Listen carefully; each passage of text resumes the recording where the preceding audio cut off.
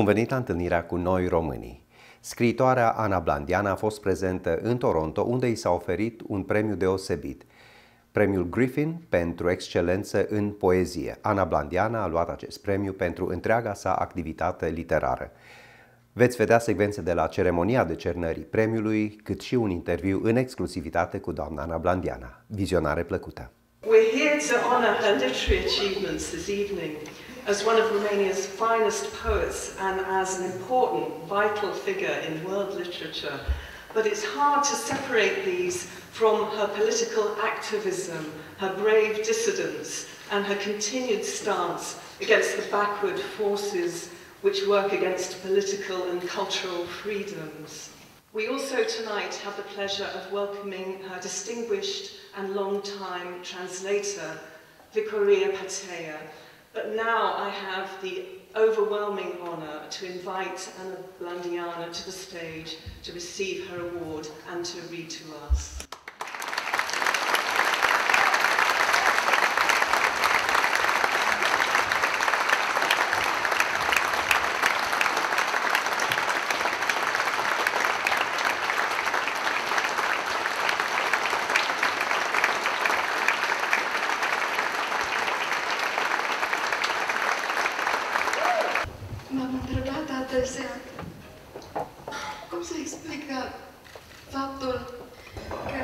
Deși între poezie și ideea de recompensă nu există evidente conexiuni, totuși premiile pentru poezie sunt adevărate instituții culturale. Răspunsul pe care l-am găsit și care este într-un fel straniu, este că punctul comun între două atât de diferite noțiuni este bunătatea. Așa cum un om rău nu poate fi un poet bun, premiile pentru poezie sunt adevărate definiții laice ale bunătății. Doamna Ana Blandiana, ne bucurăm să vă avem în mijlocul nostru. Ați văzut, comunitatea de români a fost prezentă, am văzut că v-ați bucurat. Așa. Hai să, să, să începem. Cum au aflat de dumneavoastră? Cum, cum v-au găsit? Cum, cum a fost cu, cu premiul? Începeți printr-o întrebare la care nu știu ce să răspund. Deci, e clar că e vorba de cărțile apărute în engleză cu doi ani și anul acesta, că ele au fost primite acolo foarte bine și s-a scris mult despre ele și că e clar că de la ele au pornit. Însă, ca om, ca, adică cine m-a propus, cine habar n-am. Și uh, astăzi am făcut cunoștință aici cu toată lumea, deci nu se punea problema să pot întreba. Pe poate o să aflăm, poate o să aflăm și o, o să vă transmitem cine, cine v-a propus, de fapt. A, pentru... chiar o să facă O să încercăm. Vă previn însă că cu foarte mulți ani în urmă, în nici nu mai știu în ce an, am luat premiul Herder, era primul mare premiu pe care îl iau, pe care îl dă Universitatea din Viena și nici acum n-am aflat încă cine mi-a propus. Adică lucrurile astea, în general, rămân relativ misterioase. Exact. Da, e bine să rămână mistere. Da, mă rog, de ei depinde. Pentru mine ar fi mai bine să am o idee mai clară. Pentru telespectatorii noștri, cu ce vă ocupați în zilele astea? Ce faceți? Scrieți? În care zile? În zilele, nu zilele acestea, A. în perioada asta. A, dacă vă spun ce am făcut în luna mai, Spuneți. Sunt curioasă dacă o să mă admirați sau o să vă fie milă de mine. Am umblat foarte mult în primăvara asta. Am fost împreună cu uh, Viorica Pâtea, traducătoarea uh, cărților, dar traducătoarea și mai multor cărți în spaniolă, ea fiind profesoară la Universitatea din Salamanca de literatură americană, dar mă rog, trăiește în Spania și am fost invitată împreună, de exemplu, la Târgu de Carte de la Bogota. Asta acum o lună și un pic. Și ceea ce n-a fost o glumă, mai ales ca călătorie. Acolo a fost extrem de interesant pentru că cărțile traduse în spaniolă, cărțile spaniole se difuzează și în America Latină, în țările de limbă uh, spaniolă și spre surpriza noastră uh, exista chiar un tip de, de exaltare, uh, mă rog, probabil firea lor este mai, uh, în orice caz erau cunoscute, se citau, se, încât uh, a fost foarte interesant. Mm, dar uh, vreau să vă spun că după aceea uh, deci în luna mai am mai fost la Torino, la Târgu de Carte, uh, la Cluj, la înmormântarea doamnei Cornea, la Alba Iulia, unde am fost făcută doctor honoris causa și am ținut un uh, discurs despre centenar, uh, care între timp s-a difuzat viral pe, pentru că era o privire asupra centenarului, nu festivă, ci uh, ca o formă de exorcizare. Părerea mea e că acest an ar trebui să fie prilejul în care să ne întrebăm uh, de ce suntem cum suntem și de ce, uh, de ce să ne comparăm noi cei de acum cu cei din 1918 și să încercăm să răspundem de ce le semănăm prea puțin. De la Roger Scap, pentru emisiunea Noi Românii, vă doresc vizionare plăcută. Gustul României aici, în Canada. ABC Euro Delicatessen va aduce pe masă cele mai variate bucate tipic românești, ci nu numai. Cozonaci, sermăluțe, mititei, mezeluri și brânzeturi, legume, prăjituri și diverse dulciuri. ABC Euro Delicatessen vă mai oferă băutură coritoare și apă minerală. Puteți face comenzi telefonic și online. ABC Euro Delicatessen, 6 Lebovic Avenue în Scarborough. Gustul României, aici în Canada.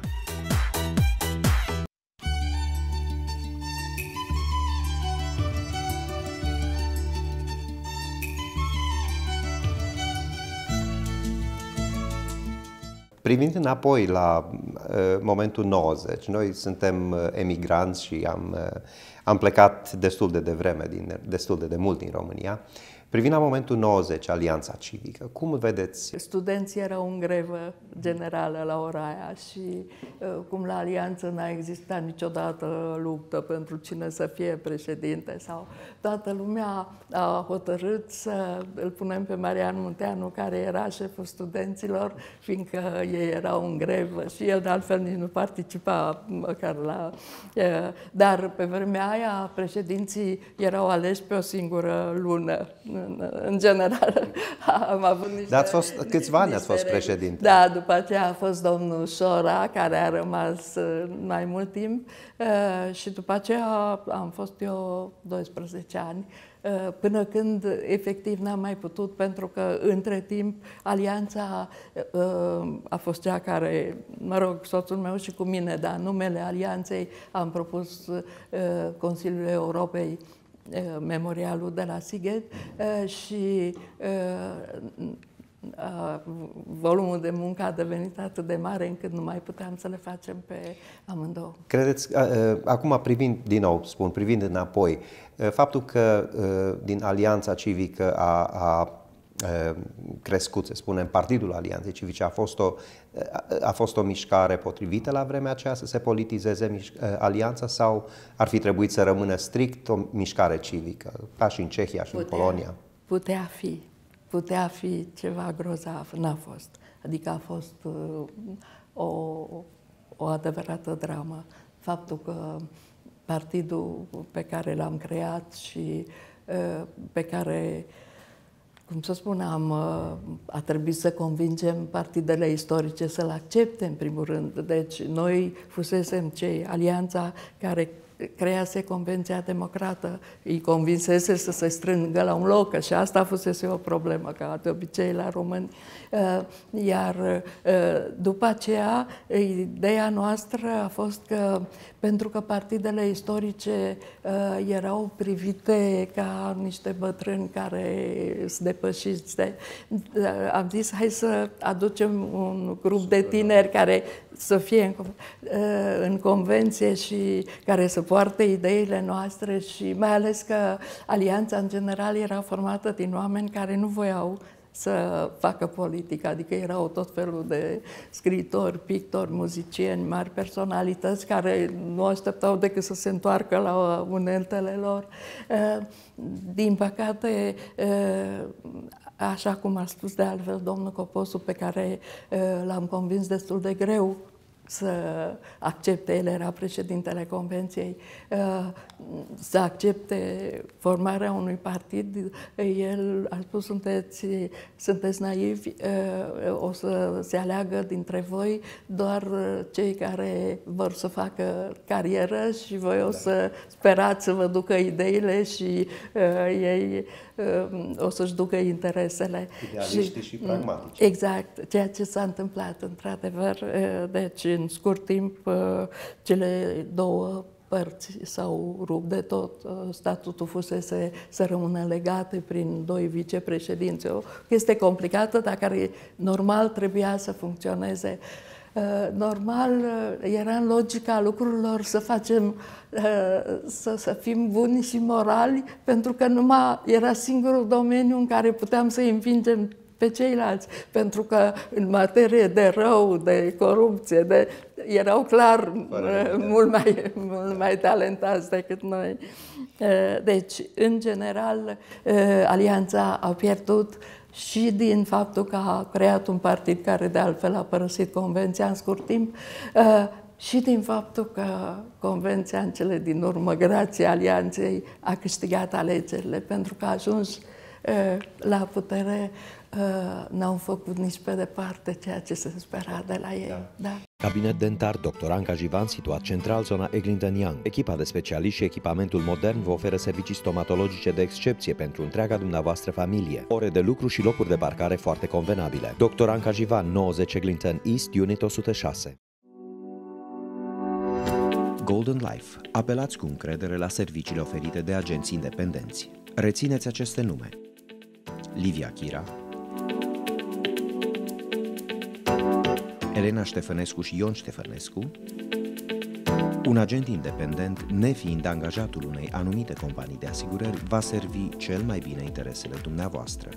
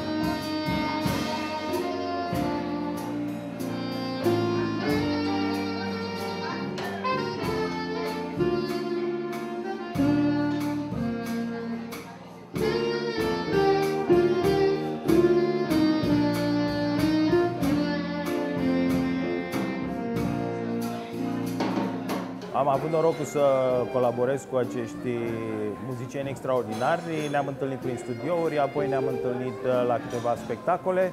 Fiecare cânta cu altă trupă și cumva ne-am hotărât să lucrăm împreună. Avem uh, uh, de acum 5 sau 6 ani de când lucrăm aproximativ cu aceiași oameni. Joaquin este ceva mai nou dar fiecare este un superstar in uh, his own right. El merge, fiecare merge cu o trupă care este foarte cunoscută și și toți la oaltă am văzut lumea, ca să spun așa. Fiecare a ajuns într-o parte a lumii în care poate ceilalți uh, au ajuns după aceea.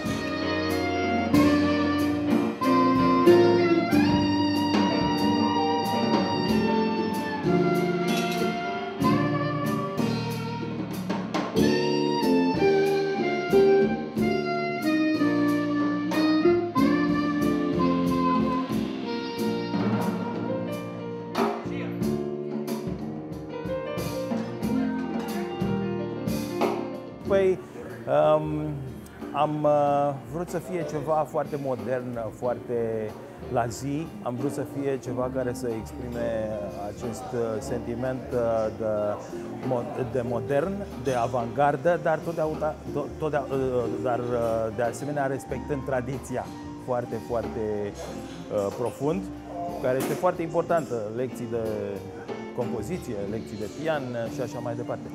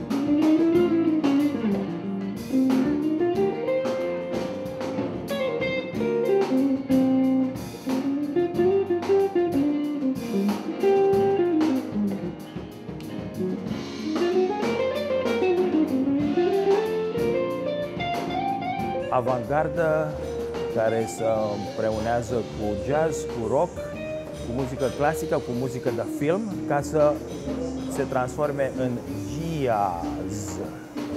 Deci e o găsăliță pe care am, pe care am gândit-o mai de mult și s-a, s-a prins, ca să zicem așa. Um, vrem să creăm un stil unic. Nu dorim să cântăm ceea ce s-a mai făcut, pentru că sunt foarte mulți care cântă bebop sau swing extraordinar de bine. Și după părerea mea, niciodată nu o să poți să-l uh, egalezi pe Bill Evans uh, cântând de modal, n-ai să-l egalezi pe Charlie Parker cântând bebop, n-ai să-l uh, egalezi pe Ciuco Valdez uh, cântând latin, latin music. Deci uh, vrem să creăm stilul nostru. Uh, am văzut lucrul acesta la Cicorea, la Pat Metheny, fiecare și-a creat un stil propriu. Uh, bineînțeles, uh, trebuie să ai niște uh, elemente de compoziție bine cunoscute, să ai niște lucruri pe care să le gândești într-o anumită direcție nouă și interesantă și să încerci să deschizi drumuri noi este foarte, foarte um, este foarte competitiv.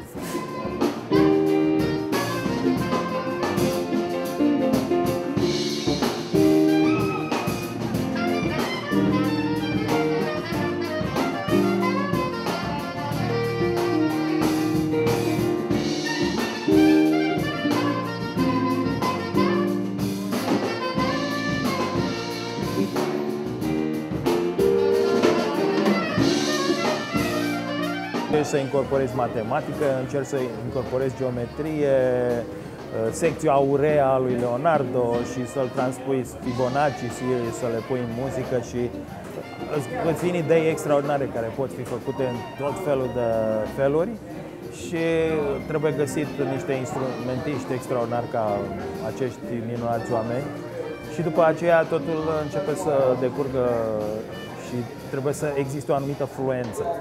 De asemenea, muzica trebuie să aibă o dinamică extraordinară. Nu, nu vorbim de viteză sau virtuozitate, dinamică. Trebuie, trebuie să se întâmple ceva, trebuie să fie o povestire, trebuie să fie contrastant ca să fie interesant, pentru că nu poți să faci același lucru continuu. Trebuie să fie, trebuie să fie totuși melodic, ca oamenii să reușească să se ancoreze de ceva.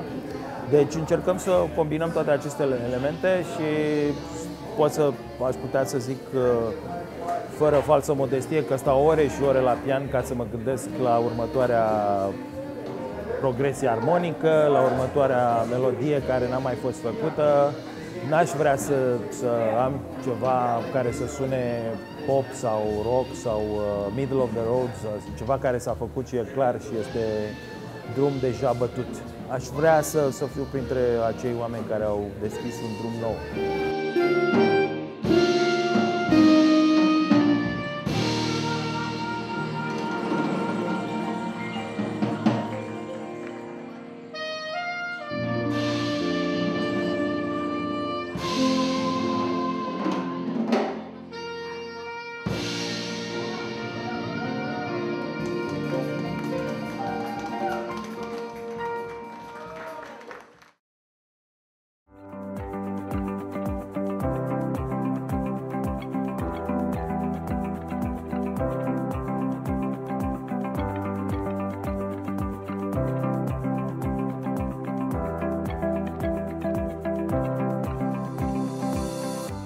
30 de ani de experiență, Travel Expressions vă oferă prețuri favorabile individuale în toate părțile lumii. Apelați cu încredere la oficiile noastre din Toronto și London. Bilete de avion, excursii, croaziere individuale sau în grup, închirieri de mașini, invitații, asigurări medicale.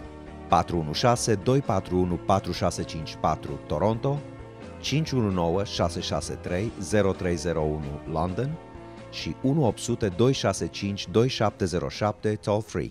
Travel Expressions. Programul extrașcolar Logimix vă așteaptă cu o ofertă mare de cursuri. Matematică, engleză, științe, fizică, chimie și biologie predate în grupe mici de elevi. Profesori competenți, pasionați și dedicați.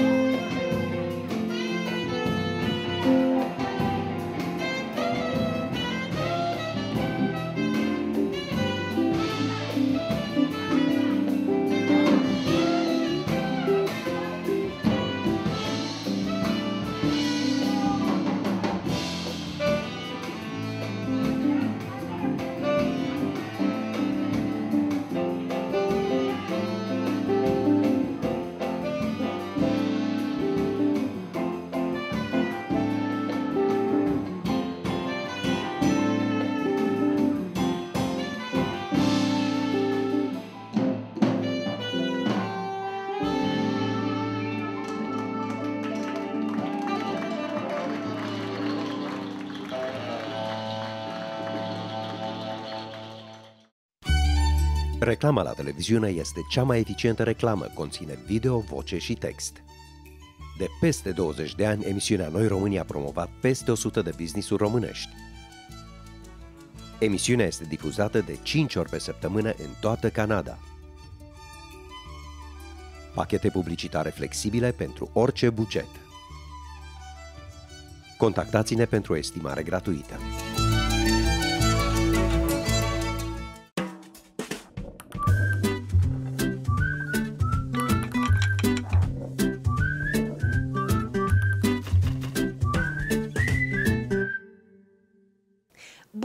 La emisiunea Noi Românii!